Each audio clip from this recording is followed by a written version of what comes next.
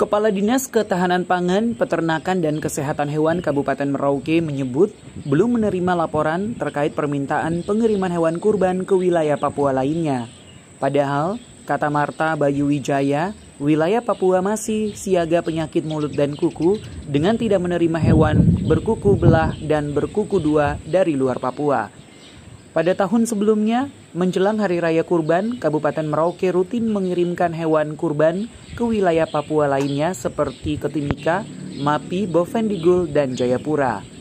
Daerah sejauh ini belum, memang ada beberapa kemarin ya, tapi untuk yang khusus hari hari kurban ini belum, saya belum pantau ya karena memang belum terlihat ada surat. Tapi ya memang kami masih berada pada posisi penyakit mulut dan kuku di mana kami masih dalam zona hijau seperti itu. Jadi kami zona hijau ini bisa dalam arti untuk di Papua ya kami bisa mendistribusikan untuk hewan kurban keluar, tapi kami tidak bisa menerima dari luar. Sementara Merauke merupakan wilayah dengan populasi sapi tertinggi di wilayah Papua. Saat ini tercatat sekitar 40 ribu populasi sapi di Kabupaten Merauke. Syarif Jimar, Kompas TV Merauke, Papua Selatan.